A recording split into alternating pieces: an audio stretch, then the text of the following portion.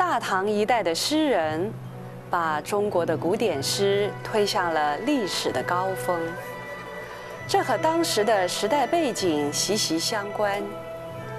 唐朝建立以后，国力日益鼎盛，社会达到空前的富裕，经济繁荣，中外的各种交流频繁。而文化也呈现出前所未有的开放性和融合性，大气磅礴。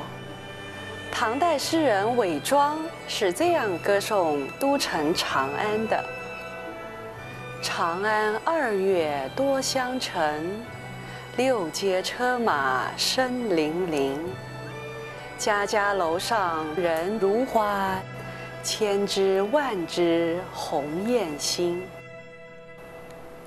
像这样人比花娇、车马相乘的生动描述，让人即使在千年之后，仍能感受到当时的富丽繁华。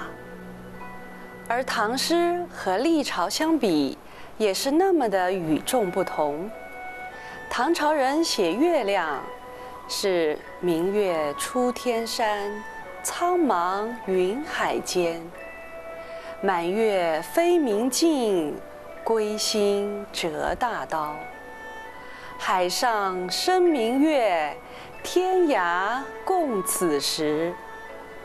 无论是在天涯海角，气象都是开拓的。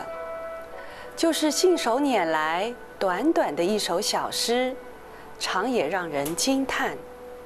举个例子，像是陈子昂的《登幽州台歌》：“前不见古人，后不见来者。念天地之悠悠，独怆然而涕下。”他为自己眼界的有限而哭了，也为了时空的局限。看不到古人，看不到后人，而怆然涕下。那种对生命悲剧性的感悟，是很浑厚、很博大的。但到了唐朝以后，就少有这样整体的磅礴大气了。整个大唐时代的诗人们，好像约好似的，在因缘聚会中。一同为唐诗创造了这样一个波澜壮阔的局面，难怪有后人说，好像所有的才情都被那个时代的人用尽了，好像所有的好诗都被那个时代的人写尽了。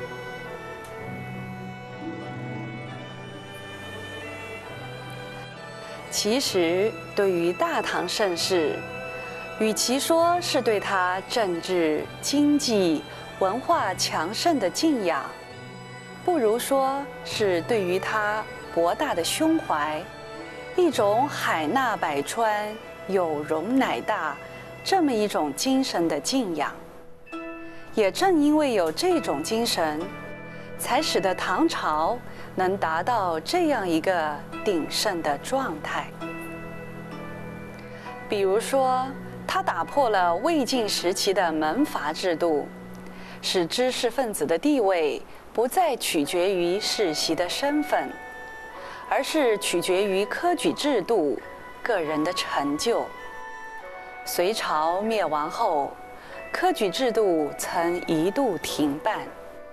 后来，唐太宗恢复了这个制度，发掘了许多人才。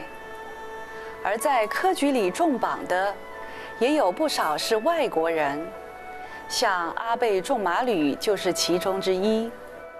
他原是日本遣唐留学生，在苦学五六年之后，因为科举进士及第，而成为唐朝的高官。而在对外文化上，大唐也广泛吸收各种不同文化的优点，往来于丝绸之路上的商队，把中国丝绸运向了西方，也带回了丰富多彩的西域文化。连外来的佛教、基督教、摩尼教等，在这里也都和谐相处，构成了一个多元文化相互融合的动人情景。大唐盛世也因为这样，而成了后人向往的理想世界。